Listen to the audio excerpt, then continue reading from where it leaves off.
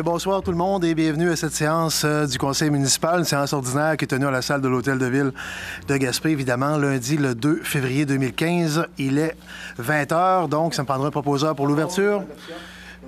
Monsieur O'Connor propose l'ouverture de la séance, l'adoption de l'ordre du jour incluant les trois points aux affaires nouvelles. Je propose. Monsieur Smith a proposé l'adoption des procès-verbaux des séances précédentes. Propose. Monsieur Coton en propose. Ça va pour tout le monde? Merci. On arrive au point 4, rapport du maire et point d'information au conseil. Bon, bien, d'abord, peut-être un, petit bonjour à tout le monde. Et euh, comme vous le constatez, l'hiver est déjà bien installé. Des périodes de froid très intenses ces jours-ci. Euh, Peut-être juste un petit message de, sécurité publique. Faire attention euh, au niveau des appareils de chauffage, tout ça. Et les risques d'incendie deviennent toujours plus grands quand on est en période de grand froid. Donc, juste être prudent. C'est un petit message qu'on peut, qu'on peut vous passer de faire attention. Euh, et aussi, en même temps, tant qu'à parler de l'hiver, euh, on peut vous inviter à profiter des nombreuses activités qui vous sont offertes au centre de ski, dans les arénas, dans les patinoires, etc. Bref, Gaspé est vivant l'hiver aussi. Donc, euh, profitez-en. Il n'en tient, qu'à vous de savourer les joies de l'hiver avec ce que la ville peut vous offrir avec les nombreux comités de, bénévoles qui nous épaulent. D'abord, j'aimerais vous parler d'une petite nouveauté qu'on aura dès demain euh, en termes de communication à la ville de Gaspé. Euh, c'est sûr qu'on n'est peut-être pas les précurseurs dans ce domaine-là dans le milieu municipal québécois, mais on va ouvrir une page Facebook euh, qui va être ouverte demain, page Facebook municipale. Donc, un nouveau moyen de communication, un nouveau moyen de rejoindre la population, euh, en plus des moyens qu'on utilise traditionnellement là, au niveau de la ville, euh, la radio, les avis publics dans les, journaux et tout ça. Bref, on se dote de ce nouveau moyen-là en ligne pour rejoindre davantage de gens qui ne sont pas toujours via les médias traditionnels. Donc, euh, nouveau moyen qui est en place dès demain matin, donc dès le 3 février. Euh, un petit mot peut-être euh, sur la, coalition des régions, les mouvements citoyens qui ont pris de l'ampleur au cours des derniers, euh, derniers mois, des dernières semaines. Une coalition de régions qui s'est créée pour faire entendre le, faire entendre la voix des régions auprès, auprès du gouvernement, mais pas juste auprès du gouvernement, auprès de toutes sortes d'autres acteurs. On a vu le Conseil du patronat sortir il n'y a pas longtemps avec tout plein de belles insultes à l'égard des régions. Fait qu'à un moment donné, il faut, que des gens, faut que des gens s'ouvrent la trappe puis viennent le dire qu'on n'est pas d'accord avec ce type d'intervention-là. Fait que c'est un peu euh, les objectifs qui sont poursuivis par la coalition des sept régions. Euh, en tout cas, présentement, il y a sept régions qui se sont euh, regroupées. Il y, en, a- d'autres parties de territoire aussi du Québec qui sont sur le point de se, de se joindre à cette coalition-là. Fait que dans le fond, la coalition, son objectif, c'est de tendre la main au gouvernement, ce qu'on est en train de faire pour trouver des solutions adaptées. Dans un contexte de difficultés budgétaires, de déficit budgétaire, on a des solutions à proposer aussi pour que euh, le prix de l'équilibre budgétaire au Québec ne, soit ne se fasse pas de façon disproportionnée entre les villes et les régions euh, rurales du Québec. Donc, ce qu'on veut, c'est prendre le temps avec le gouvernement de se parler, de se comprendre et de bien faire les choses ensemble. C'est l'objectif qu'on a. Cette semaine, une commission parlementaire à Québec, justement, euh, sur le projet de loi 28, là, qui, euh, qui vient remodeler les termes d'une gouvernance régionale et tout ça. Donc, euh, on, va, y participer. On va tenter de retisser des liens avec le gouvernement, entre le gouvernement et les régions, pour qu'on euh, qu'on se remette à travailler ensemble, qu'on se remette à travailler mieux ensemble pour le bien de tous. Parce que les régions du Québec, les régions sont importantes pour le Québec. C'est qui, qui fournit l'énergie au Québec, qui fournit la nourriture au Québec, qui fournit les produits de la mer, les ressources naturelles, la forêt, euh, tout ce que les régions fournissent pour faire vivre l'économie du Québec. faut pas prendre ça à la légère. On est vraiment très important dans le tissu économique du Québec. Puis sans l'apport des régions, bien, nos grandes villes de Québec et Montréal, ben il serait rien si on n'était pas là comme région. Donc on a, je pense, un droit un peu plus de reconnaissance, un peu plus de dignité. Puis c'est un peu pour ça qu'on qu'on plaide là, les régions du Québec euh, qui se sont mis ensemble. Puis euh, des, gestes comme le Conseil du patronat a fait il n'y a pas longtemps, des insultes de même, on veut plus revoir ça. On veut plus, veut plus entendre ce type d'insultes-là à l'égard des régions. Fermer des villages, puis, euh, donner de l'argent aux familles pour qu'ils s'en aillent, s'en aillent rester en ville. Franchement, ce type de réflexion-là, ça a plus sa place au Québec. Puis c'est un peu pour ça aussi qu'on se bat contre cette tendance-là à dénigrer les régions du Québec. On n'aime pas ça. Ceci étant dit, euh, la semaine d'avant, j'ai fait, euh, je suis parti en une petite ronde de lait à l'extérieur avec euh, mon ami et collègue, avec le directeur de l'urbanisme ici à la ville. On a fait plusieurs rencontres sur plusieurs dossiers. Entre autres, on a vi- visité trois cabinets de ministres au fédéral sur divers dossiers. C'est important, je pense, de vous faire quelques petits suivis là-dessus. D'abord, dans le dossier de la station radio maritime de Rivière-au-Nord. C'est un des dossiers qui était majeur à notre ordre du jour très honnêtement, peu d'espoir de survie. Honnêtement, là, à moins d'un revirement de tendance de dernière minute, on va dire les vraies affaires, euh, il y a eu des, changements apportés à la technologie. Ils nous expliquent ça de la manière qu'ils peuvent nous l'expliquer. On essaie bien de comprendre. Je suis loin d'être un spécialiste en radio maritime. On a des, un ancien pêcheur, on a un autre pêcheur ici à la table qui connaissent encore mieux que moi comment ça fonctionne, cette technologie-là. Fait que nous, on arrive là-bas, on apporte les arguments relativement à la technologie radio qui permet pas de recevoir plusieurs appels en même temps. Euh, on apporte des arguments au niveau des complexités linguistiques. Il y a plusieurs dialectes en Gaspésie, aux îles de la Madeleine, en Acadie, euh, dans le Golfe. il y a plusieurs langues, plusieurs dialectes qui sont parlés, qui sont pas nécessairement faciles à comprendre de la part de quelqu'un qui, euh, qui, est installé aux, Escoumins, quelqu'un qui, a vécu à Québec toute sa vie, par exemple. Je m'excuse, mais nous autres mêmes, à Gaspé, des fois, on a de la misère à comprendre ce que quelqu'un de Passepébiac va venir nous dire. Hein, les dialectes, les accents sont hyper forts, hyper prononcés. Puis dans une radio, c'est en cas de détresse, c'est encore bien plus dur à comprendre. Fait que quelqu'un qui n'a jamais entendu ces dialectes-là va avoir de la misère à comprendre. Fait qu'on a peur de ça. On a peur pour la sécurité des gens dans le Golfe. On a peur aussi au niveau de reconnaître les, euh, particularités du territoire maritime. Exemple, la pointe à chose, puis le, le banc de choses, là. Et même nous autres qui vivons ici, on les connaît pas. Fait que quelqu'un qui, qui a jamais vécu ça de sa vie va peut-être avoir de la misère à localiser où ce qui est rendu le pêcheur quand il est en détresse. Fait que c'est un peu ça qu'on a euh, comme crainte. Fait qu'on apporte ces arguments-là. On apporte aussi l'argument de la perte d'emploi en région. 15, 15 bonnes jobs, 15 belles jobs euh, dans le secteur de Rivière-Nord, c'est pas négligeable. Mais ces jobs-là, ben s'il se passe rien, ben ces jobs-là sont perdus. Ça fait plusieurs fois qu'on en parle du dossier à la table du Conseil. Mais malheureusement, notre argumentaire, là, qui se base sur la sécurité des pêcheurs, sur la sécurité des plaisanciers, qui se base sur notre tissu économique aussi, mais on se bute à un mur. C'est un mur, il n'y a, rien à faire avec le gouvernement présentement. Honnêtement, on a, ils nous écoutent, là, mais dire qu'il y a une ouverture à garder la station radio-maritime à Rivière-Nord ouverte, ce serait vous mentir. Il n'y a aucune espèce d'ouverture. Par contre, est-ce qu'on lance à servir tout de suite? Je pense pas. Je pense qu'on va continuer comme municipalité, nous autres. C'est pas un dossier qui est municipal, on s'entend, mais quand il y a des emplois de reliés à ça, quand on parle de la sécurité de notre monde, de nos plaisanciers, de nos pêcheurs, ça nous préoccupe aussi. Là. Fait qu'on va continuer avec les pêcheurs, avec les plaisanciers, de, faire pression sur le gouvernement malgré tout, même s'il n'y a pas d'ouverture. C'est pas, c'est pas pas ou peu, c'est pas d'ouverture. Puis on va essayer aussi de soutenir euh, les employés de la station radio-maritime pour euh, essayer quand même, malgré tout, de trouver, euh, trouver un, un, dénouement qui pourrait nous être positif, mais honnêtement, c'est pas bien parti.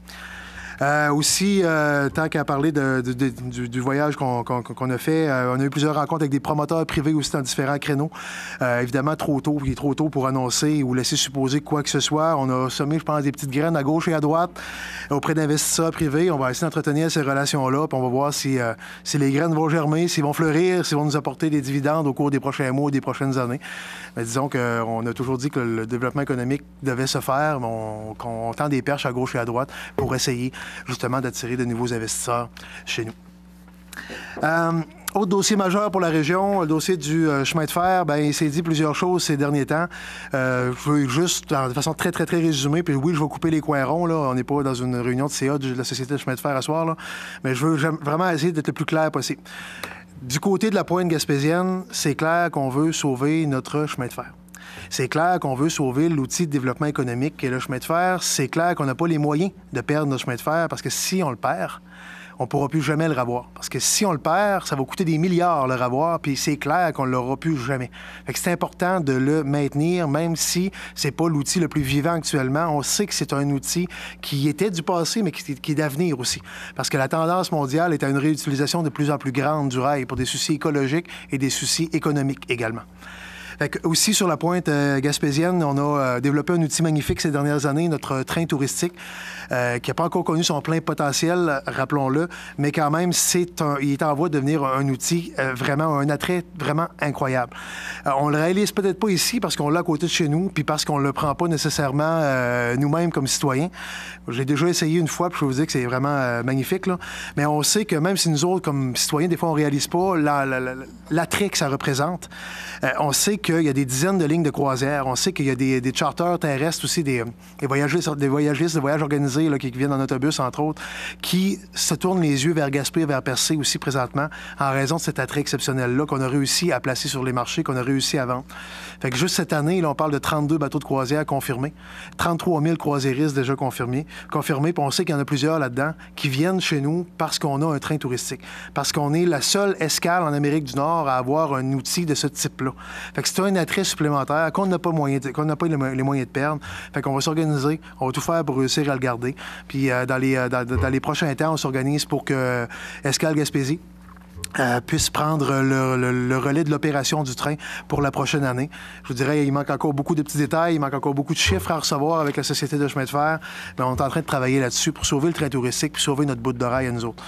Puis le, reste, on fait le pari qu'à un moment donné, il y a du monde qui va ouvrir les yeux, qui va vouloir nous aider puis nous supporter pour, euh, pour euh, entretenir puis rénover notre chemin de fer régional.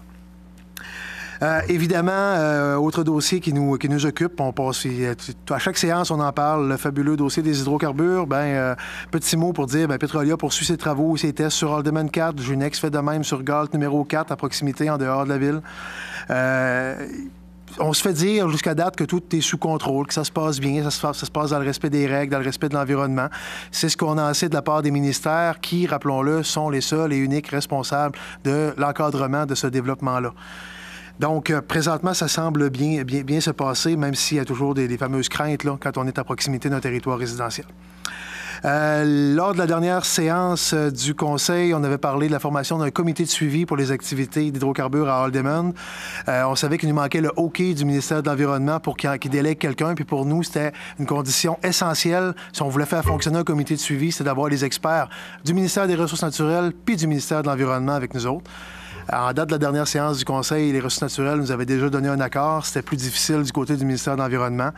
Bien, euh, il, y a, deux semaines, dans notre fameuse run de lait où on a fait plein, plein, plein de rencontres euh, entre, entre, entre, entre Rimouski et Ottawa.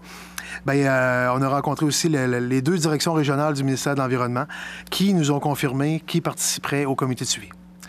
Donc, il y a un comité de suivi sur les activités d'hydrocarbures à Aldeman qui, qui est en train de se monter. Évidemment, la manière que ça se passe, là, la Ville ne veut pas présider le comité, mais veut être un facilitateur. Donc, qu'est-ce qu'on fait? On, en, on, propose un comité, qui, euh, un comité qu'on peut l'appeler provisoire au début, qui va se doter de ses propres règles, qui va emmener les propres personnes qu'ils veulent bien emmener à la table. La Ville suggère des noms pour qu'il y ait des gens qui commencent à se parler, mais comment ça va s'articuler pour la suite? Il faut que le comité de suivi soit autonome. Puis il faut qu'il soit indépendant. Donc, il faut que, oui, il y ait le volet industriel qui soit présent, oui, le volet ministériel, oui, la ville va y siéger. Et, euh, oui, il y aura des citoyens du secteur d'Aldeman, des citoyens en dehors du secteur d'Aldeman, des gens plus favorables à l'industrie, des gens qui sont moins favorables. Bref, on va avoir un portrait le plus complet possible pour que les gens puissent se parler, puis les gens puissent en même temps avoir des réponses à leurs questions des réponses qui, euh, qui ne peuvent pas provenir d'une instance municipale lorsqu'on n'a pas l'expertise pour répondre à toutes ces questions pointues-là. Fait qu'on se fie au, au ministère de l'Environnement, au ministère des Ressources naturelles pour répondre aux gens. Fait que le comité de suivi, dans le fond, c'est un canal de communication entre les citoyens interpellés par le dossier, les ministères concernés. La ville va, va être présente aussi, l'industrie va être présente aussi mais le comité va fonctionner de façon autonome. C'est ce qu'on euh, ce qu'on souhaite, c'est ce sur quoi on travaille présentement. Avant de terminer, peut-être un petit mot sur le dossier éolien. Euh, vous dire qu'on continue de travailler étroitement euh, avec les gens de notre usine de Pâle ici à Gaspé pour assurer la pérennité de l'usine, même si notre usine n'en a pas eu pour son compte dans le dernier appel d'offres d'éolien communautaire. Honnêtement, moi, j'ai bien confiance pour l'avenir. Puis j'ai confiance qu'on va non seulement réussir à maintenir les emplois actuels, mais je pense que à, moyen et à long terme, on va réussir même à développer notre usine qui est euh, toujours l'une des plus performantes au monde en termes de production de pales d'éoliennes. Fait que je pense qu'on est bien positionné pour réussir à se développer en dehors du marché local, en dehors du marché québécois. Il y a des perspectives aussi en dehors de notre marché euh, local à nous. Euh, autre petit mot aussi, euh, on a parlé la dernière séance euh, de l'entreprise des plaquettes de frein B&B qui projetait de s'installer chez nous. On continue toujours de travailler de façon étroite avec eux. Ça, progresse bien. Il faut toujours trouver exactement le bon terrain d'entente pour l'implantation de leur usine dans le, dans le, complexe de GDS, là, la usine GDS, qui est un incubateur d'entreprise de, la municipalité maintenant. Donc, on a bon espoir que d'ici les, prochaines semaines ou au plus tard les prochains mois, que tout sera confirmé. Très honnêtement, il reste des coûts à sortir, des coûts d'aménagement des bâtiments, du bâtiment, puis à savoir comment, comment, c'est partagé entre l'entreprise puis la municipalité propriétaire du bâtiment. C'est là où on en est. Les honnêtement, ça va très, très bien. Fait que, euh, on souhaite la création des emplois reliés à cette usine-là. Euh, dès, cette année, on parle déjà de de, peut-être une dizaine d'emplois cette année et de quelques dizaines d'emplois euh, prochainement. Puis, euh, étant donné le, caractère novateur du produit qui est proposé par cette entreprise-là, c'est clair que ça a un immense potentiel à moyen et à long terme chez nous, d'où l'intérêt de les attirer vraiment chez nous. Donc, voilà, c'est des bonnes nouvelles qui vont être à venir. Fait en conclusion, ben, je souhaite à tous et à toutes un beau mois de février. Puis, je vous remercie de votre attention également. Ah oui, merci, monsieur, avant de conclure complètement. Monsieur O'Connor me toque du coude pour me dire euh, c'est vrai, on a une, nouvelle, personne à notre table euh, au niveau, euh, au niveau de l'équipe de, direction de la ville de Gaspé. Ben, peut-être souligner. la venue chez nous de M. Michel Coton, nouveau directeur des travaux publics. Bienvenue, bienvenue Michel. Michel, c'est sa première séance du conseil avec nous. Fait on lui souhaite vraiment le meilleur des succès, puis on compte sur sa, son expérience, son expertise pour nous accompagner au niveau des travaux publics. Merci Michel, bienvenue chez nous. Peut-être en profiter pour remercier ah, ben oui. La personne qui a assumé le, rôle de directeur des travaux publics de façon intérimaire, M. Jocelyn Villeneuve, qui a fait un excellent travail. Donc, merci à Jocelyn. Merci, Mme Perry. Effectivement, un gros merci aussi à Jocelyn de la part de tout, le conseil pour l'intérim d'un an et demi assumé à la direction des travaux publics. Euh, donc, ça nous amènerait au point suivant de l'ordre du jour, qui est le, en 4B, euh, l'état des revenus et dépenses. Donc, c'est pour un dépôt, rien de spécial à signaler, on est en début d'année financière. Donc, voilà, c'est déposé. Le point suivant à l'ordre du jour, qui est le rapport des conseillers et euh, les questions aux officiers. Je vais commencer ce soir à ma gauche par Mme Mathurin. Monsieur le maire, chers collègues, citoyens du quartier 1 et vous tous, bonsoir. Pendant le mois de janvier, j'ai participé aux réunions du conseil, à la fête des 100 ans de Mme Rosalma Dupuis et la soirée annuelle de l'Association Chasse et Pêche de Saint-Maurice. Merci aux organisateurs de ces événements qui en ont fait une réussite. J'ai eu une première discussion par téléphone avec M. Didier Dufour du réseau collectif concernant l'Internet haute vitesse. Dossier à suivre. Moi et M. Jérôme Tardif avons assisté à une conférence téléphonique avec M. Georges Tapp et M. Steve Cloutier concernant le projet du relais du Lacron. Voici des activités à ne pas manquer en février.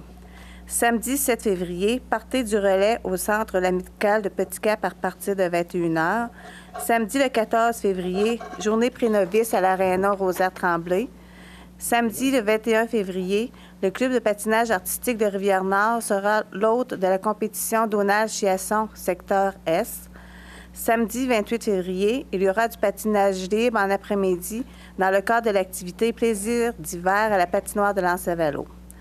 Surveillez les médias car il y aura une conférence de presse concernant les retrouvailles 2015 de Lansavalo. À l'occasion de la Semaine des enseignantes et enseignants qui se tient du 2 au 8 février, disons merci à tout le personnel enseignant. Je tiens à féliciter les jeunes de la ville qui participeront à la finale des Jeux du Québec qui aura lieu à Drummondville du 28 février au 7 mars. Félicitations à Michael Brousseau en boxe, Chloé Odette, Anne-Élodie Mius et Marie-Lou Morin en hockey féminin et Catherine Denis et Maude Boulay en patinage artistique. Bonne chance à vous tous. Passez un beau mois de février. Très bien. Merci beaucoup, Mme Mathurin. Monsieur Kenville, la parole est à vous. Merci, M. le maire. Euh, j'ai rencontré les citoyens de mon quartier. Je vais vous faire un bref euh, pour sur divers dossiers. Ensuite, j'ai eu une rencontre avec euh, le conseil municipal. Nous étions deux seulement, avec monsieur et diverses personnes du milieu euh, de la direction. Rencontré monsieur Pierre-Carl Pellado, qui est venu nous rencontrer ici à, l'hôtel de ville. Très intéressant. Le dossier des bouts de faux sceptiques, c'est un dossier qui continue. Euh, à soi, on ne peut pas dévoiler exactement ce qui est ressorti de, des soumissions, mais le dossier va être étudié en profondeur parce qu'on trouve que les, montants sont un peu élevés. Euh, pour les, citoyens de Wincam, il y a un problème d'odeur, je le disais le mois passé. Des démarches avec les consultants, euh, les ingénieurs conseils suivent leur cours et le problème devait être résolu pour le printemps. C'est à suivre et nous vous garderons informés.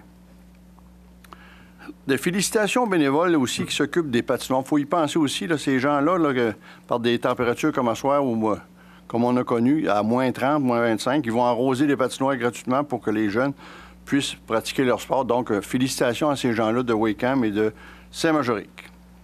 Euh, aussi, ne pas oublier, le 7 février à 2 heures de l'après-midi, au High School rue Jacques-Cartier, il y aura remise de la Légion d'honneur française à M. Harris Mullen et M. Dufresne de Rivière-au-Nord, dont je ne connais pas le prénom, de Cloridum. Ces deux personnes-là qui ont fait le débarquement de Normandie et qui, ont, qui sont battus à la dernière guerre en 39-45. Donc, euh, il y aura des représentants français euh, qui vont venir remettre la Légion d'honneur à ces deux personnes-là, M. Harris Mullen et M. Dufresne de Cloridon. Donc, invitation à tous pour cet événement exceptionnel qui se tiendra non à, la Légion, canadienne, mais au high school, à l'école de high school sur la rue Jacques-Cartier. Aussi, pour ce qui est du centre de ski mont Gervais, plus de 410 cartes de membres ont été vendues à l'heure actuelle et plein d'activités à venir pour le mois de février, dont en voici quelques-unes. Le 13 février, il y a un vendredi, c'est la semaine de relâche. Il y a euh, vendredi ski bouge, des activités gratuites pour les moins de 14 ans, remontée et location pour les résidents de la ville de Gaspé. Il y aura un transport euh, organisé pour les jeunes. Le 14 février aussi, samedi soir, euh, il y a un souper de la Saint-Valentin avec les billets au- sont en vente au centre de ski au coût de 15 Il y a 70 places seulement. Euh, le 28 février, il y a des courses d'accélération de motoneige en soirée, le 28 février, pour euh, toute la population. Euh, aussi, il y a le club récréatif. Il y a 40 jeunes cette année qui se sont inscrits dans le cadre des, jeunes pour les équipes de compétition. Donc, il y a deux bénévoles, les- les- M. Roy, Martin et son père, qui s'occupent de ces jeunes-là. Euh, ensuite, euh, ensuite euh, visite il y a 13 écoles aussi qui sont inscrites pour les vendredis et sur semaine pour euh, faire du ski. Donc, ils ont été obligés d'ouvrir une journée de plus le jeudi pour que ces écoles-là puissent venir faire du ski à Gaspé. Donc, merci, M. le maire, et à tous, je souhaite une bonne Saint-Valentin à tous, à toute la population et surtout aux femmes. Merci. À tous et à toutes. Surtout à toutes. À tous, mais à toutes. Merci, M. Canville. M. O'Connor, la parole est à vous. Bonsoir, mesdames, messieurs. Ben, C'est sûr, monsieur le maire, je pas noté toutes les activités, mais une en particulier, là, qui, est, euh, qui- en tout cas, d'ailleurs, vous avez assisté à la rencontre aussi avec moi, c'est la rencontre avec le directeur général de la Caisse B de Gaspé. Euh, Le fait que le, le- le point de service de Capozo, euh, suite à la retraite de la préposée, euh, normalement, il y avait une assemblée d'information à Capozo euh, la semaine passée. à cause de la tempête, ça a été remis à demain soir. Espérons qu'il n'y aura pas de tempête demain soir. Euh, en tout cas, c'est une assemblée plus d'informations. C'est sûr qu'il va y avoir des mesures compensatoires, parce que s'ils ferment le, le point de service à Capozo, on est appelé vers la nouvelle technologie. Je ne sais pas si c'est, c'est toute l'é- l'é- l'électronique qui fait en sorte qu'on a moins de points de service, mais en tout cas, c'est un dossier qui est important peut-être pour les gens, même si au niveau des transactions, il nous soulignait qu'il n'y avait pas assez de transactions, en tout cas, pour prendre une nouvelle préposée, etc. On va savoir ça plus, plus long demain soir. Euh, aussi, ben, il y a eu toutes les demandes des, des aides discrétionnaires des organismes de cet site. Là. Exemple, les comités de loisirs, tout a été réglé euh, cette semaine. Euh, la semaine de relâche qui s'en vient, les organismes veulent avoir euh, quelques piastres pour faire des activités. Ça fait que ça fait partie de, de la routine là, habituelle avec les organismes. Ça fait que c'est pas mal tout. C'est beau, M. le maire. Parfait. Merci beaucoup, M. O'Connor. Je vais aller avec Mme Perry. Merci, Monsieur le maire. Bonsoir, Mesdames et Messieurs. Bien, mes principales activités pour le mois de janvier sont les suivantes. Le 12 janvier, euh, il y a eu la session, euh, pardon, la séance régulière du conseil municipal. Le 14 janvier, j'ai j'ai eu une rencontre avec le maire pour euh, traiter de différents sujets touchant mon quartier. Le 20 janvier, je représentais le conseil municipal à la conférence de presse lors du lancement de la coopérative des bâtisseurs de l'Est. C'est quatre jeunes euh, entrepreneurs de Gaspé qui ont lancé récemment la première coopérative des travailleurs de construction à l'est de la ville de Québec. Si vous désirez vous prévaloir de leurs services, ben, je vous invite à consulter le site, le site La Coop des bâtisseurs de l'Est. Le 22 janvier, j'ai une rencontre avec M. Daniel Samuel, qui est le directeur euh, de l'Office municipal d'habitation de Gaspé, relativement au projet La Villa des Buissonnets. C'est un projet de 72 logements qui devrait se concrétiser. 62, pardon, excusez-moi. 62 logements qui devraient se concrétiser euh, peut-être euh, au cours de l'année 2015-2016. Le 23 janvier, j'ai eu une rencontre avec le directeur général, M. Sébastien Fournier, pour échanger sur différents sujets. Le 26 janvier, j'ai eu une rencontre à l'hôtel de ville avec euh, mon collègue, euh, M. Canville. C'était euh, une rencontre avec M. Pierre-Carl Pellado. Il était en tournée dans notre région dans le cadre de la course à la chefferie et désirait échanger avec le conseil municipal sur les enjeux de la municipalité et de la région. Le 26 janvier, ça a été une journée assez chargée. En après-midi, on a eu une rencontre avec Mme Agnès Curio, qui est agente de développement rural au CLD de la Côte des Gaspé. Elle nous a déposé le pacte rural 2014-2019 qui incluait le plan d'action, la politique d'investissement et le guide d'information pour le dépôt, dépôt d'une aide financière. Ensuite, euh, le conseil municipal, accompagné du directeur général, on s'est réunis pour échanger sur nos priorités 2015 et les orientations à venir. Les principales priorités à court terme pour le centre-ville, je vais vous en énumérer quelques-unes. Bien sûr, il y a la réfection et l'asphaltage des rues, berceau du Canada, la réparation de la conduite principale sous la baie de Gaspé et le branchement des services d'aquaduc et d'égouts à la Villa Les Buissonnets.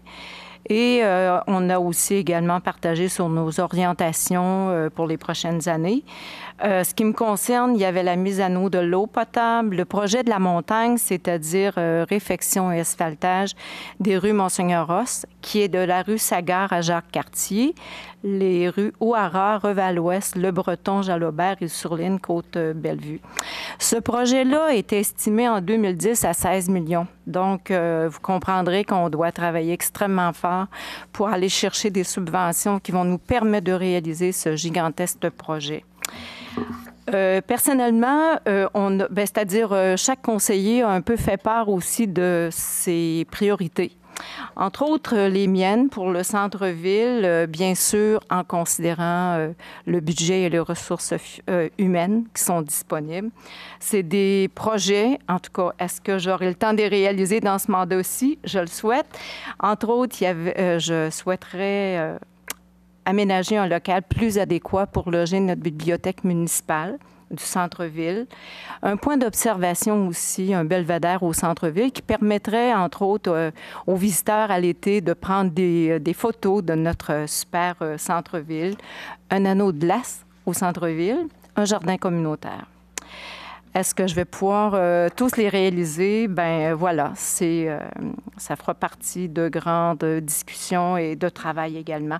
Le 28 janvier, il y a eu une rencontre avec le comité de suivi du CRI sur le projet des 24 euh, logements au centre-ville. Ça, ça résume un peu mes activités que j'ai eues au cours du mois de janvier.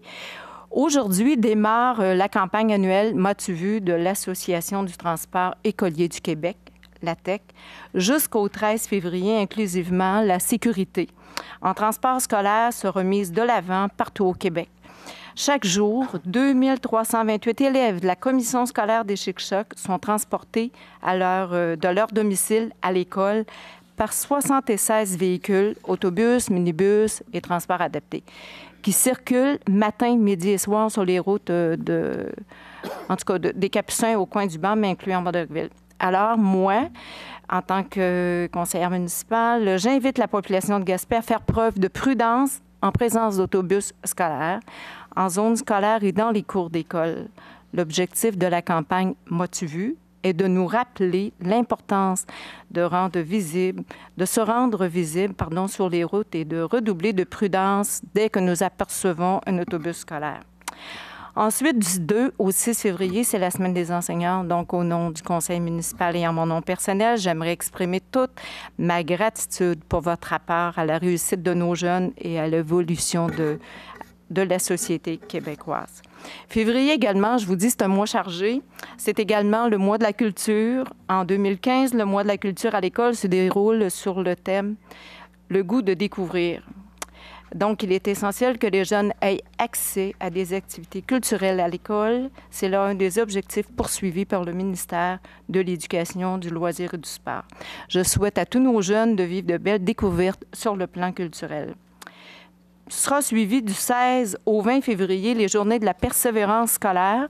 En Gaspésie et aux îles de la Madeleine, plusieurs partenaires profitent de cette occasion pour organiser des activités, mettre en valeur des actions et des projets et promouvoir auprès de toute la communauté la persévérance euh, scolaire de nos jeunes. Je parle un peu vite parce qu'on me dit toujours que je parle trop, donc j'essaie de, de, parler rapidement, puis je, je, pense que des fois, je prononce pas très bien mes mots. C'est pas moi qui vous dis ça, Madame. Écoutez, je veux juste vous dire qu'on va déposer ce soir, le Conseil municipal va déposer une résolution déclarant les 10, 11, 12 et 13, 13 euh, et 14 février euh, comme étant les journées de la persévérance scolaire de notre municipalité. Euh, février, c'est un mois riche en événements. Je vous partage également que les bibliothèques municipales sont en mode séduction. Donc, euh, durant tout le mois, les bibliothèques municipales identifieront d'un coup de cœur les livres spécialement choisis par le personnel ou les abonnés. Les bibliothèques souhaitent vous faire découvrir non seulement des livres, mais aussi ce service public gratuit offert par notre municipalité. En plus des collections sur place, d'autres services vous sont offerts comme le prêt de livres entre bibliothèques, communément appelé demande spéciale. Je vous invite à vous rendre dans l'une de nos sept bibliothèques euh, municipales. Des bénévoles attentionnés et dévoués seront là pour vous accueillir. Également, le 7 février aura lieu la journée pré-novice à l'Aréna de Gaspé et euh, la fin de semaine du 12 au 15 février, c'est le tournoi Atome. Donc, bonne chance à tous nos jeunes hockeyeurs. Je termine par trois messages qui sont d'intérêt public.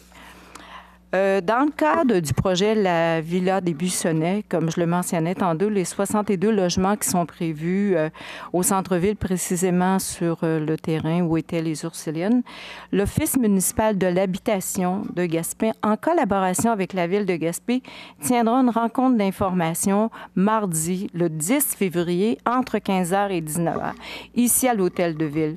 Ça sera le moment, si vous avez des questions sur ce projet-là, si vous voulez voir les plans, ou si vous êtes intéressé euh, éventuellement peut-être euh, à louer un de ces appartements-là, bien, venez à ce moment-là et vous aurez toutes euh, les réponses à votre questionnement.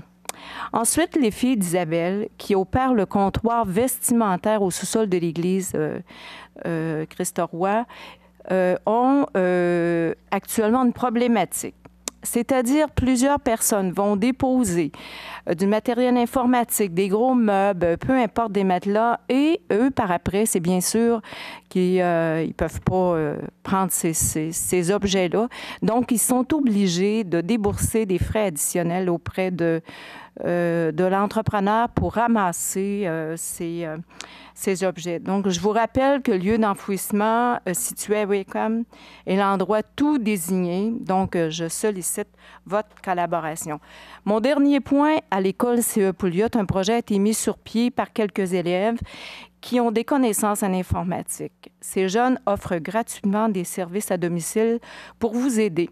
Je vous cite quelques, quelques exemples, la création d'une adresse courriel, création d'un compte Facebook ou euh, peu importe.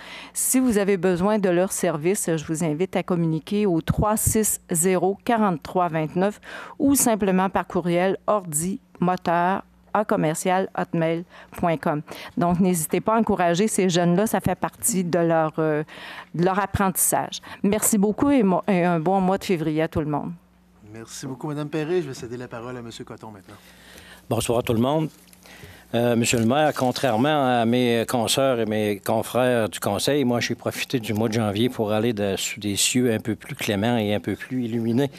Euh, j'ai pas de rapport en ce qui a trait à à mon quartier, aux activités de mon quartier. Non pas parce qu'on n'a pas de problème dans mon quartier, on a des petits problèmes, ça va bien, mais on en a parlé en régie, j'en reviendrai un autre tantôt euh, quand je pourrais faire le suivi.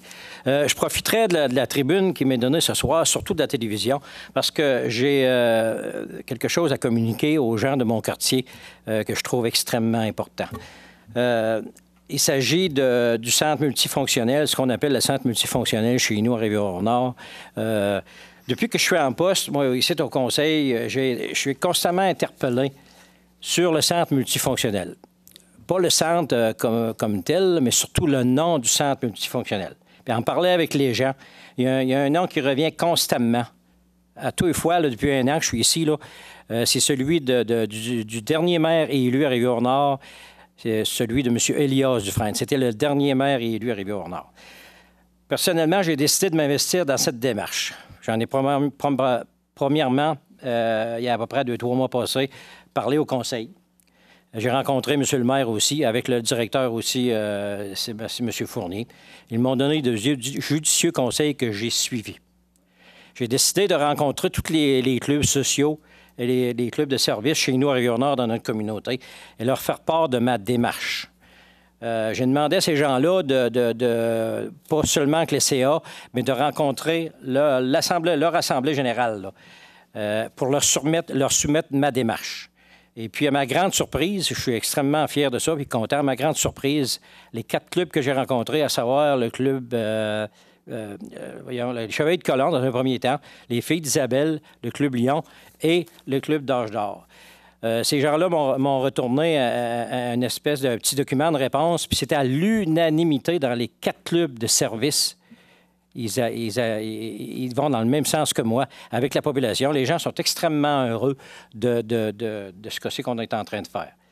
Euh, je vais juste pour vous situer dans le temps puis vous, euh, vous, vous, dire c'est qui le monsieur euh, dont on parle parce que c'est quand même, ça fait plusieurs années, la fusion, ça fait plusieurs années que ça a lieu. M. Lias Dufresne est issu d'une famille modeste de Rivière-Nord. En mai 1949, après avoir fait du taxi localement, il effectue son premier voyage entre Gaspé et Montréal et lance ainsi un service encore existant aujourd'hui, plus de 65 ans après son voyage inaugural en mai 1963. Il se porte candidat à la mairie de Rivière-Nord et été élu, il a été élu pour un premier mandat. Il entreprendra son deuxième mandat en 1966. Sous sa gouverne, avec la coopération des autres membres du conseil municipal, les citoyens de Rivière-Nord se voient concrétiser la construction d'une caserne de pompiers et l'achat d'un camion d'incendie et l'achat d'un camion pour la cueillette des ordures ménagères. Rivière-Nord voit aussi apparaître ses premiers trottoirs en béton la construction d'aqueducs et d'égouts au centre du village sont aussi réalisées. Ces infrastructures modernes ont été un apport primordial pour favoriser la venue d'une nouvelle usine de transformation, Pêcheurs Unis du Québec dans le temps, qui est encore là aujourd'hui, Marinard, qui demeure encore aujourd'hui une des principales sources d'emploi du village et des environs. À cette même époque, plus précisément en 1965, il achète avec sa femme le Caribouine, cette entreprise hôtelière, comme son nom l'indique, vise une clientèle anglophone, en majeure partie américaine. Il décide de ne garder que le bâtiment principal et le fait installer près de la mer. Le commerce devient alors l'auberge Caribou et dessert une clientèle régionale, euh, locale et régionale. Il obtient son permis de bord. Toujours en opération, l'auberge Caribou euh, suite aux rénovations entreprises par les nouveaux propriétaires, jouit d'une très belle popularité. En février 1977, la maladie l'oblige à quitter son poste de maire. Il décédera quelques mois plus tard, en août 1967. Il a été le dernier maire élu de Rivière-au-Nord. Il était aussi membre des, Chevaliers de Colomb. À la lumière de ce que je viens de vous dire sur euh, M. Dufresne, c'est un excellent moyen de faire connaître notre histoire et d'honorer la mémoire de celui-ci en immortalisant son nom, soit en changeant le nom du centre multifonctionnel en celui du centre communautaire M. Elias Dufresne. Dès cette semaine, je vais travailler avec les gens euh, avec les gens de la ville afin de compléter le dossier et de le faire parvenir à la commission toponymique du gouvernement du Québec pour ensuite, si tout va bien, le présenter à la population de Rio-Nord, probablement autour, en début juin, euh, durant la semaine euh, des municipalités. Alors, pour les gens de mon quartier, bien, je les tiendrai au courant de l'évolution du dossier si tout fonctionne bien. Euh, on va se croiser les doigts. Moi, ça me tient à cœur. Je pense que M. Dufresne a été euh, quelqu'un d'extrêmement important avant la fusion pour devenir le Grand Gaspé aujourd'hui. Euh, la, communauté de Rivière-Nord s'en est enorgueillie quand il a fait son chemin pour eux autres comme maire. Alors, c'est tout, M. Merci beaucoup. Merci, M. Coton. Euh, reste la parole à M. Smith pour conclure. Oui, merci, M. le maire. Bonsoir, Mesdames, Messieurs. comme notre dernière assemblée publique a eu lieu le 12 janvier, donc je vous ferai mon rapport pour les trois dernières semaines. Comme mes collègues, euh, d'abord, j'ai assisté à la, rencontre d'information sur le pacte rural avec euh, Mme Agnès Courriot. J'ai assisté également à notre session de travail euh, du Conseil sur les projets futurs. j'ai également assisté à une soirée d'information du comité ZIP de la baie des Chaleurs, ZIP pour, si je ne me trompe, zone d'intervention prioritaire. Euh, ils sont venus nous parler d'érosion des berges et des plages et ils sont venus nous, euh, informer aussi sur des mesures à prendre pour contrer euh, cette érosion. Ici à Gaspé, la plage Alderman a été ciblée peut-être comme un des endroits où on pourrait appliquer ces, mesures là, de revitalisation des berges. Alors, c'est à, à, suivre. On va en rediscuter. Euh, en fin de semaine, euh, samedi dernier, j'ai assisté en tant que représentant de la Ville sur le CA de CD Spectacle à une formation en réanimation. Euh, c'est une session, c'est une formation qui sera donnée euh, aux employés de ces deux spectacles et à tous les bénévoles qui, euh, participent au, spectacle, aux soirées de spectacle. Alors, notre salle de spectacle deviendra une des premières, sinon la première salle en l'Est du Québec sera équipée d'un défibrillateur cardiaque et de gens formés pour intervenir en cas d'urgence. Alors, ce sera une salle professionnelle d'avant-garde en matière de sécurité et de prévention. et ce que je souhaite, c'est que toutes les salles dans l'Est du Québec suivent notre exemple. Voilà, Monsieur le maire, c'est tout. Merci beaucoup, M. Smith. Merci à tous et à toutes. Ce qui nous mène au point 7 de notre ordre du jour, l'acceptation des comptes en 7A, les comptes du mois de janvier 2015. La recommandation, c'est que le Conseil autorise le paiement des dépenses reliées aux activités financières non notamment autorisées au montant de 203 524,69 que le Conseil prenne connaissance des dépenses engagées en vertu du règlement 1055-09 sur la délégation de pouvoir pour des activités financières de 1 757 439 et 29 et des activités d'investissement de 1 177 617 et 58. Un proposeur? M. Canville propose. Ça va pour tout le monde? Oui. Merci. Ça nous mène en point 9.3 au loisir et culture. En A, les aides financières 2015 pour différents euh, organismes. Donc, c'est toutes les aides financières qui sont prévues dans le budget 2015 qui est adopté. Cette résolution-là comme objectif d'autoriser le, déboursement de ces sommes-là qui totalise là, 372 euh, 407 en aide à des organismes du milieu. C'est seulement ce qui est prévu au budget si on ajoute les budgets discrétionnaires et autres, on atteint toujours, toujours, plusieurs centaines de milliers de dollars à chaque année en soutien à l'action bénévole et en soutien à nos organismes du milieu. Donc, dans ce cas-ci, la recommandation, c'est que la Ville de Gaspé autorise le directeur des services administratifs à procéder au paiement des aides financières mentionnées dans la liste, la liste remise au conseil municipal selon les conditions et modalités déterminées par une entente ou qui seront précisées aux organismes par une lettre de la Direction des loisirs et de la culture. Un proposeur? Madame Mathurin propose. Ça va pour tout le monde? Oui. Merci. En 9.3b, fermeture de la rue de la Reine pour l'émission, euh, l'édition 2015 de, la TDLG. Je commence à déparler. Euh, donc, c'est comme à chaque année, la, demande de la TDLG. Dans ce cas-ci, la recommandation, c'est que le conseil municipal autorise la fermeture de la rue de la Reine à partir de la rue Adams jusqu'à la rue de la Cathédrale, ainsi que la fermeture d'une voie sur la rue Adams depuis les Lumières euh, jusqu'à l'intersection avec la rue de la Reine, et ce, du 27 février 2015 de 6 à 17 h afin de permettre l'arrivée sécuritaire des skieurs participant à la grande traversée et que la Sûreté du Québec en soit visée. Madame Perry propose, ça va pour tout le monde? Merci. En 9.3c, paiement de facture pour un horaire supplémentaire en architecture pour la salle de spectacle de Gaspé. Donc, ça vient euh, combler toutes les modifications qu'il y a eu en cours de route euh, pour des imprévus, des ajustements qu'il y a eu à, faire durant les travaux. Euh, tout ça est le fruit d'une négociation avec les architectes pour, euh, pour finir, venir compléter le dossier. Dans le fond, c'est la facture finale au niveau de l'architecture. Donc, la recommandation, c'est que le conseil municipal accepte la proposition d'honoraires du consortium d'architectes Plante, Bordeaux, Prou, Savard pour les services additionnels lors de la construction de la salle de spectacle de Gaspé, et ce pour un montant total de 49 351 plus taxes les taxes applicables.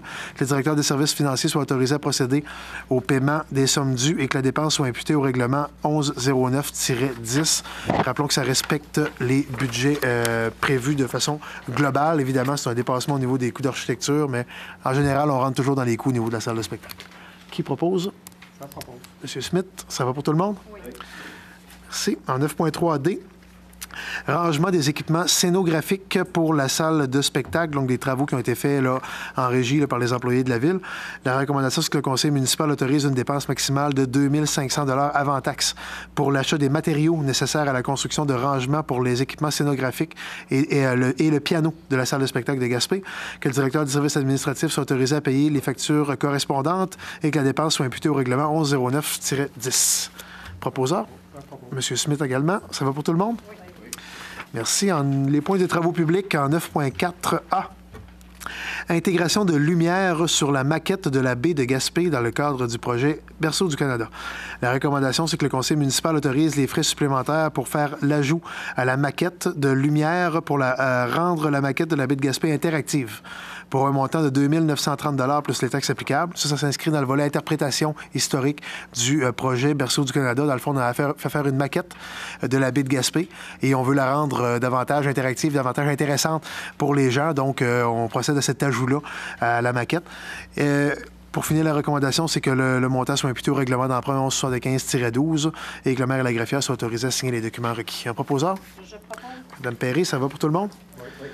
Merci encore là, euh, c'est toujours dans le respect des, euh, des budgets. 9.4b, euh, paiement de facture pour la pose d'un capteur pluvial vis-à-vis le 46 rue du Banc, à Rivière-Nord. Donc, la recommandation, c'est que le conseil municipal autorise le paiement de la facture pour un montant de 880 plus taxes pour les travaux de pose d'un capteur pluvial devant le 46 rue du Banc à l'entreprise Yvan Coton enregistré, que le montant soit imputé au fonds de roulement imputable sur 5 ans et que euh, le maire et la greffière pardon, soient autorisés à signer les documents requis. Un proposeur? Monsieur Coton, ça va pour tout le monde? Merci. En 9.4c, Facture supplémentaire concernant les travaux de conversion des branchements électriques pour l'enfouissement des fils dans le cadre du projet euh, de la rue de la Cathédrale. Donc, euh, des petits éléments qui n'avaient pas été prévus initialement au devis et qui doivent être ajoutés en cours de route. La recommandation, c'est que le conseil municipal autorise le paiement de factures pour un montant de 2 935 plus taxes pour les travaux supplémentaires de conversion des branchements électriques pour l'enfouissement de fils lors du projet euh, de la rue de la Cathédrale. cette facture-là est au groupe Omega. Que le montant soit imputé au règlement d'emprunt 1185-12 et que le maire et la greffière autorisés à signer les documents requis. Un proposeur? Madame Perret, ça va pour tout le monde? Et dans ce cas-ci aussi, on n'a pas dépassé les budgets totaux du règlement d'emprunt. En 9.4D maintenant, travaux et achats de matériel pour la mise en place de l'interprétation pour Berceau du Canada. Euh, donc, c'est une série de petits petits achats, de petites acquisitions. On n'a pas le choix de passer à chaque fois au conseil municipal euh, pour euh, que ce soit inclus dans le règlement d'emprunt. Donc là, il y en a toute une série que je vous épargne. La recommandation, c'est que le conseil municipal autorise les dépenses citées plus haut, euh, donc en préambule, pour la mise en place et l'organisation de l'interprétation du projet Berceau du Canada pour un montant total, dans ce cas-ci, de 19 874 et 5 plus les taxes applicables, que le montant soit imputé au règlement 1175-12 et que le maire et la greffière soient à signer les documents requis. Madame Perry, ça va pour tout le monde? Oui. Merci. 9.4e, paiement de factures dans les dossiers de LEG. Donc, euh, les programmes de subvention des LEG du 475e, ben, on achève les, les, les, investissements. Dans ce cas-ci, un petit investissement pour le centre de ski et un pour l'Arena. Donc, un paiement de facture. La recommandation, c'est que le conseil municipal autorise le paiement des factures au groupe Omega Division Construction pour 1620 et 91 plus taxes et à la serrurerie la clé d'or au montant de 362,90 plus taxes, que le montant de 1620,91 soit imputable au dossier LEG pour l'Aréna Luc Germain et le montant de 362,90 soit imputable au euh, dossier LEG pour le centre de ski Mont-Béchervais. C'est un proposeur? Monsieur Kenville, ça va pour tout le monde? Oui. Merci. Maintenant, une modification à la résolution 1411-18 en 9, c'est le point 9.4F donc, euh, c'est des ajustements, dans le fond, une petite, euh, des erreurs d'écriture qu'il y avait euh, dans la, résolution précédente.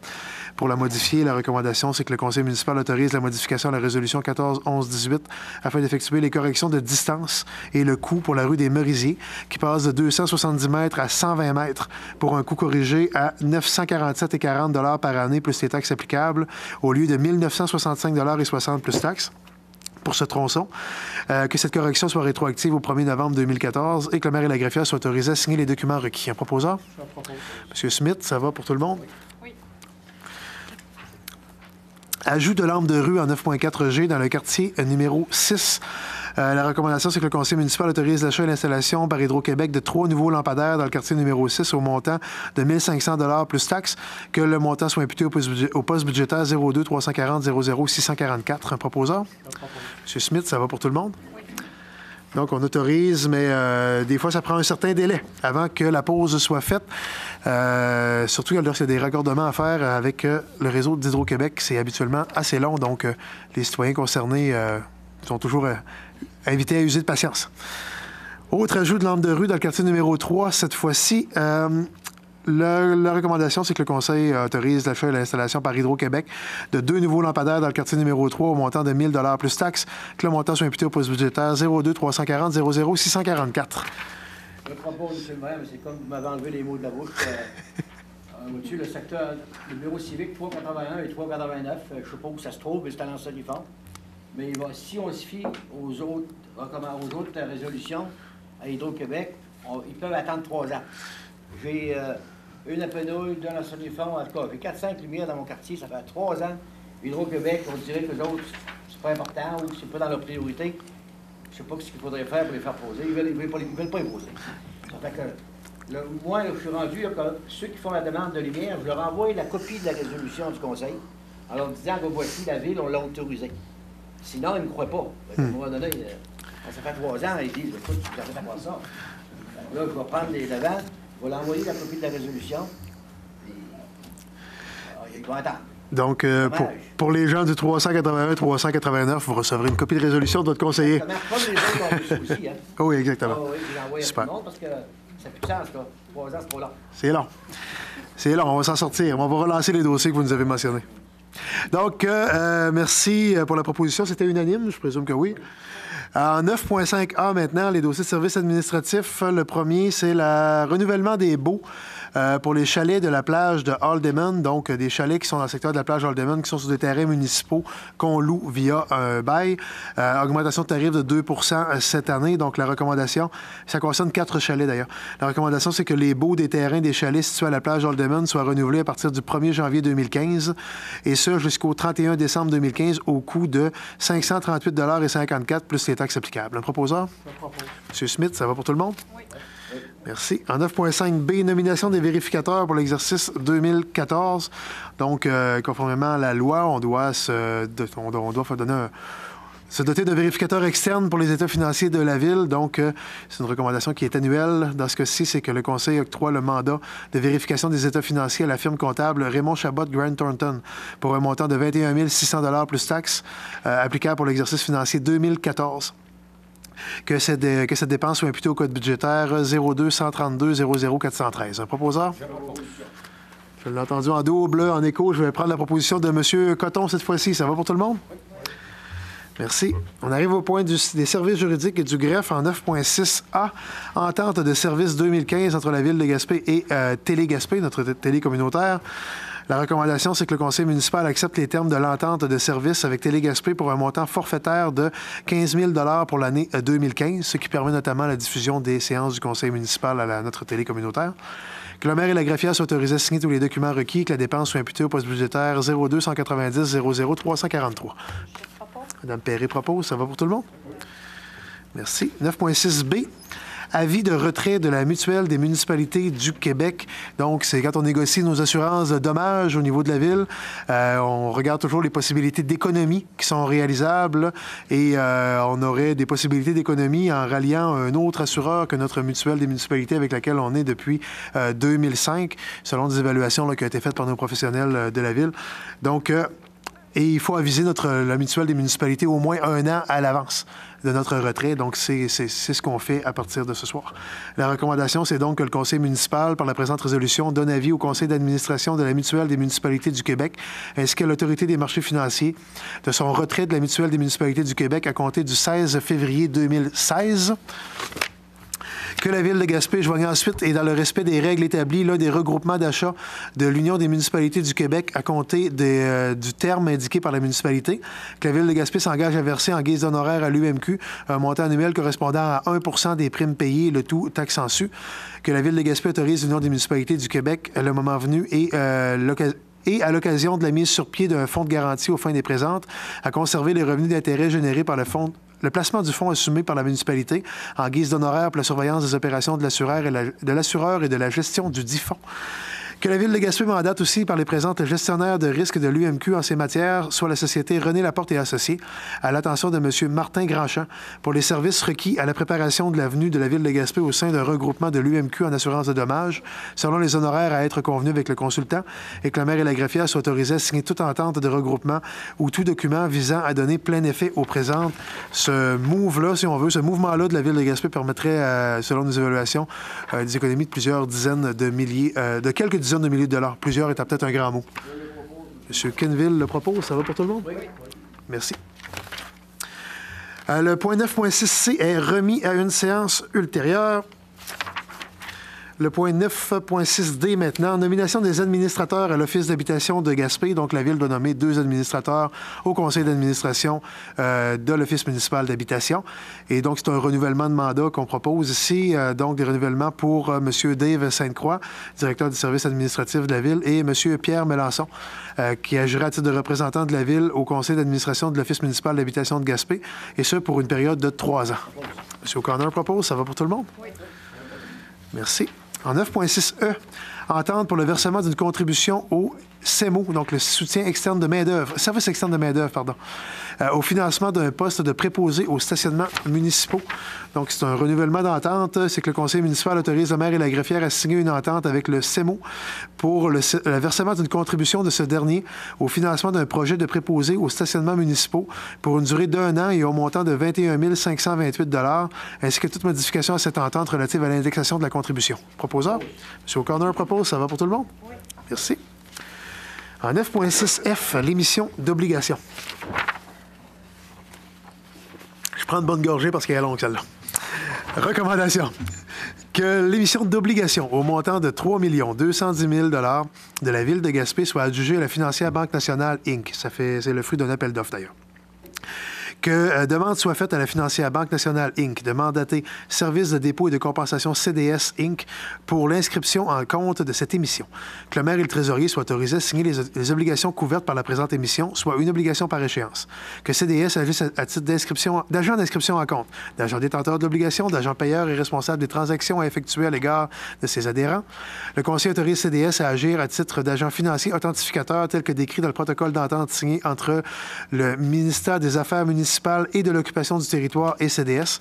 On peut enlever le mot région de la euh, résolution. Les régions sont disparues du ministère. On comprend aujourd'hui pourquoi. Euh, parenthèse fermée. Que CDS procède au transfert de fonds conformément aux exigences légales de l'obligation. À cet effet, le Conseil autorise le trésorier à signer les documents requis par le système bancaire canadien intitulé Autorisation pour le plan de débit préautorisé destiné aux entreprises. Un proposeur. Mme Mathurin propose l'émission des obligations. Ça va pour tout le monde? Oui. Je vous remercie. 9.6G.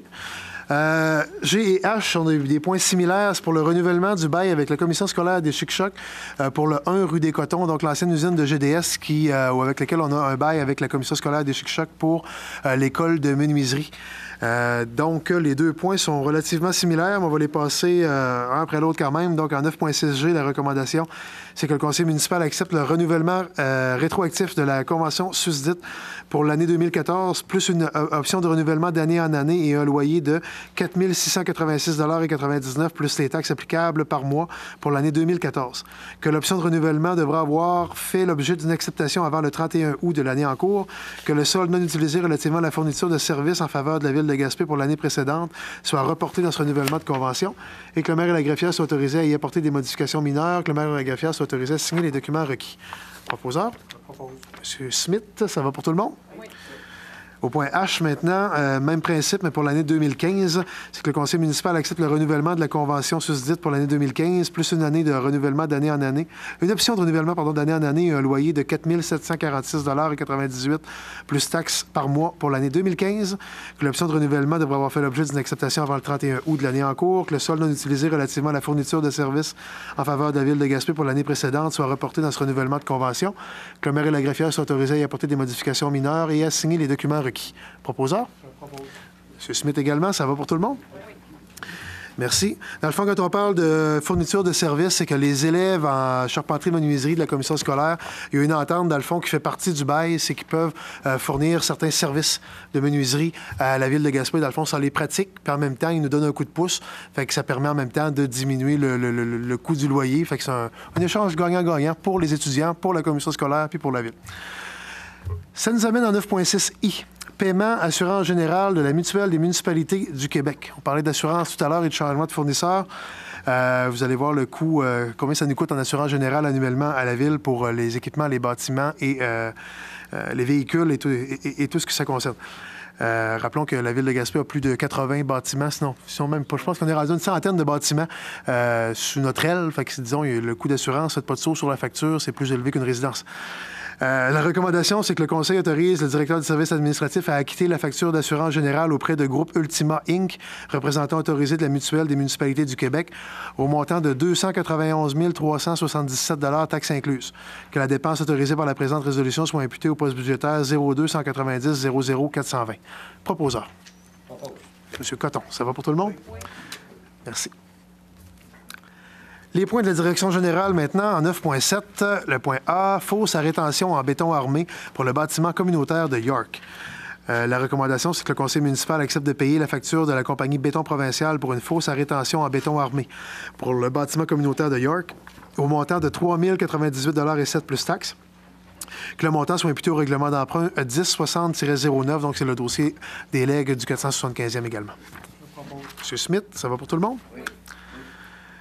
9.7b, embauche de pompiers à temps partiel. Euh, c'est pour la caserne de Saint-Maurice et celle de Gaspé.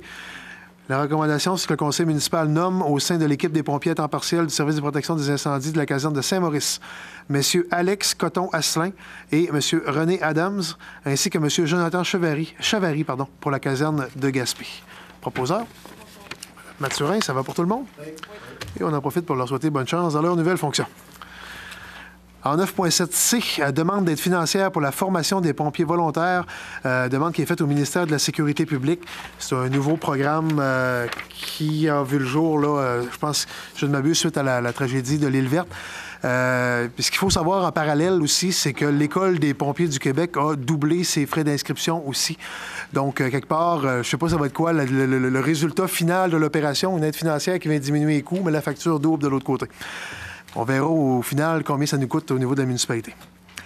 Mais bon, euh, ce soir, il faut adopter cette, euh, résolution-là, c'est que, le conseil municipal accepte qu'une demande d'aide financière soit présentée par la Ville de Gaspé dans le cadre du programme d'aide financière pour la formation des pompiers volontaires ou à temps partiel au ministère de la Sécurité publique, que le euh, conseil municipal autorise la MRC de la Côte de Gaspé à transmettre cette demande au nom de la Ville de Gaspé. Proposeur? Madame Mathieu, ça va pour tout le monde? Merci. Et pardon aux auditeurs, ça fait deux fois que j'accroche le micro avec mes papiers. Ça doit faire tout un son dans, les télés. 9.7D, intégration des travaux du ministère des Transports au projet Berceau du Canada. Donc, on a évidemment des discussions avec le MTQ pour l'intégration des travaux du MTQ versus les travaux de Berceau du Canada. Fait qu'on a une série de points euh, à conclure avec le ministère des Transports. Donc, on a la recommandation suivante. Le conseil municipal avise le ministère des Transports que, ben, au niveau du système d'éclairage décoratif, qu'on accepte le luminaire proposé soit du Philips à sur un lampadaire de 12 mètres de hauteur peint, euh, fût et potence de couleur Alumico numéro 04225. C'est un gris foncé foncé, là. Alumico.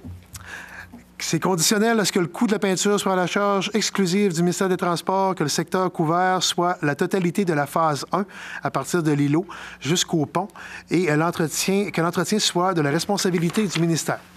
Au niveau des feux de circulation décoratifs, que la Ville accepte l'installation de feux de circulation peints de couleur aussi Alumico 04 225 avec des têtes verticales aux intersections de l'entrée de la place Jean-Cartier et de l'entrée de la rue Arbour que le Conseil accepte l'installation d'un feu de circulation peint de couleur Alumico 04-225 avec tête horizontale et étant de forme plus esthétique. Pour l'intersection de la rue de la Reine avec la montée Wakeham. Accepte l'installation d'un feu de circulation peint de couleur Alumico 04-225 avec tête horizontale pour l'intersection des ponts, euh, de l'intersection, des routes 132 et 198, intersection du pont Accepte aussi l'installation d'un feu de circulation peint de couleur Alumico 04225 avec tête verticale à l'intersection des rues Adams et de la Reine. Accepte l'installation d'un feu de circulation standard pour l'intersection, la future intersection là, où il y aura une lumière à l'intersection de la rue Jacques-Cartier. Que le tout soit conditionnel à ce que le coût de la peinture et de l'entretien soit de la responsabilité du ministère.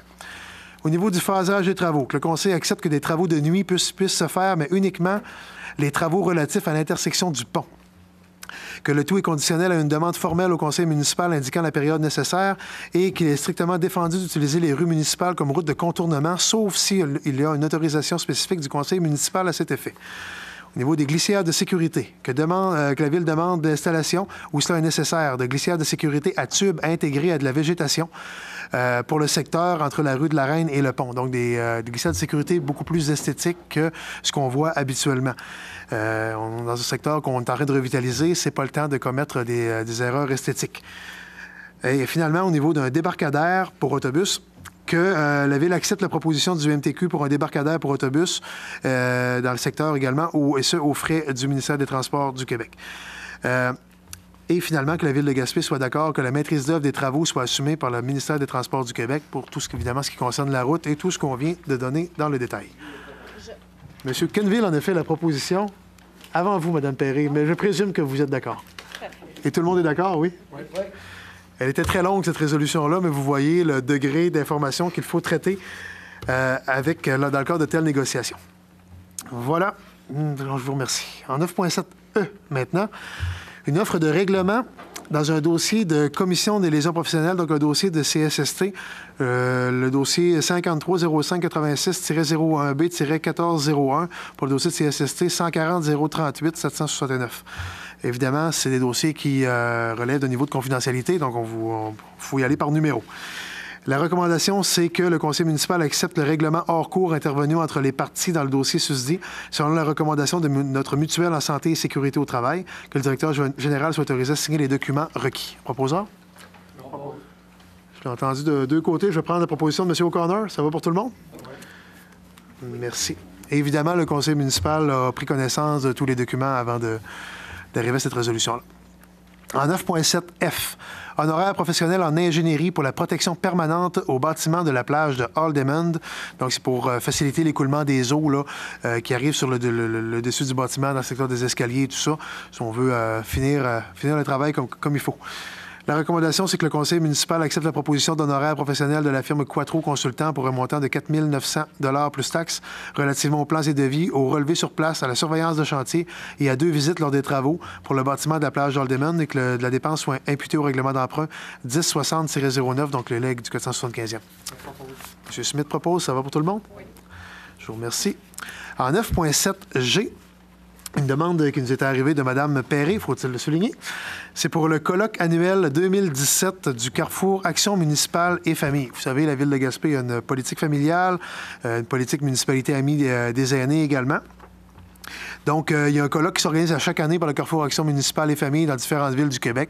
Et c'est le temps de recevoir des, euh, mises en candidature. Donc, euh, la suggestion de Mme Perret, bien, la Ville de Gaspé sera prête à déposer sa candidature pour recevoir euh, ce rendez-vous annuel-là. Donc, grosso modo, c'est entre 200 et 300 visiteurs qui, viennent à- qui pourraient venir en 2017 chez nous si notre candidature est retenue. La recommandation, c'est que le conseil municipal de la Ville de Gaspé demande au Carrefour Action municipale et famille de lui accorder la réalisation du colloque annuel du Carrefour Action municipale et famille en 2017. Je présume que Mme Perret en fait la proposition. à la surprise, à la surprise générale. Tout le monde est d'accord? Merci. Euh, ça nous amène en adoption des règlements en 10A. Règlement amendant euh, le règlement du zonage 1156-11, Madame la greffière. Adoption du règlement 1156-11-17. Considérant que les membres du Conseil déclarent avoir reçu copie du présent règlement deux jours juridiques avant ce jour, en avoir fait la lecture, en dispense la lecture et de ce fait, selon l'article 356 de la Loi sur les cités et villes, il n'est pas requis d'en faire publiquement la lecture. En conséquence, il sera proposé par l'un des conseillers et résolu que le règlement portant le numéro 1156-11-17, règlement amendant le règlement du zonage 1156-11, en modifiant le deuxième paragraphe de l'article 3.2.9, classe débit de boissons, C8, afin d'ajouter l'usage microbrasserie en autorisant spécifiquement l'usage microbrasserie dans la zone M236 et en modifiant la note 1 du tableau de l'article 25.1.4.1, pourcentage d'agrandissement de la superficie de plancher d'un usage dérogatoire, soit adopté. Je propose. C'est un dossier qui est donc c'est pas la première fois qu'on en parle au conseil municipal. Juste pour le vulgariser un peu, c'est une. Mon micro est fermé, pardon. C'est un projet de microbrasserie qui a, euh, qui a lieu au centre-ville, secteur du centre-ville, rue de la Reine, rue de la Cathédrale, dans ce bout-là. Euh, dans le fond, c'est un projet de microbrasserie qui, euh, qui, est en cours. Donc, on a, on a, dû adapter le tournage en conséquence. C'est pas un usage qui est lourd, c'est un usage qui s'adapte très bien là, au secteur en question. Donc, euh, on est à la dernière étape. Ça fait déjà trois fois que ça passe au conseil. Donc, euh, voilà, Mme Perry l'a proposé. Ça allait pour tout le monde? Oui. Merci. Ça nous amène aux affaires nouvelles. Affaires nouvelles en 13A.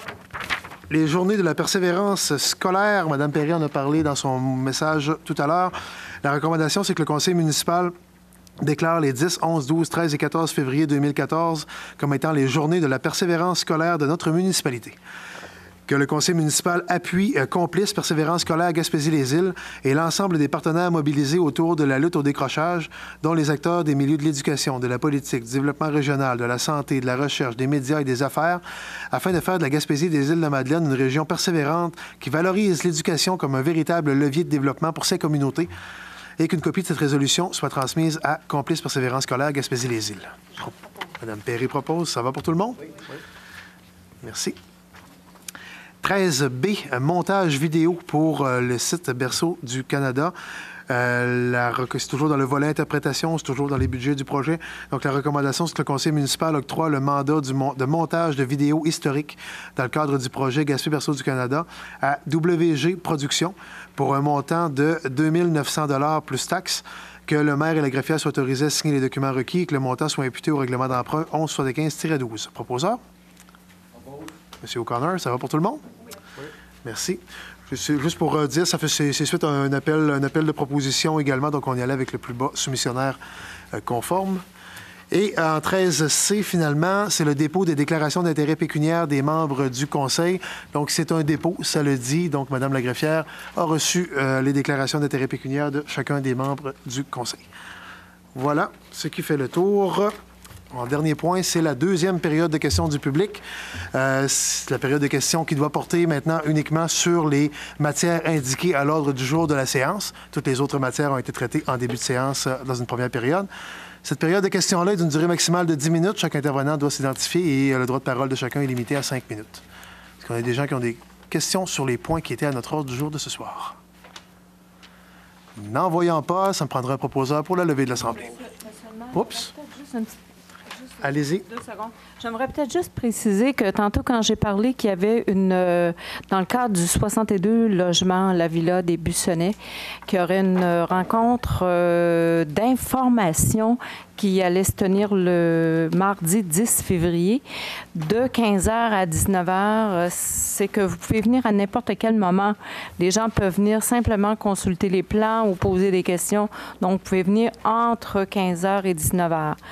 Que voilà, c'était simplement pour euh, préciser. Merci. Merci, Mme Perry. On avait une proposition de M. O'Connor pour lever l'Assemblée. Ça allait pour tout le monde? Oui. oui. Merci beaucoup. Merci tout le monde. Merci à la maison. Au plaisir.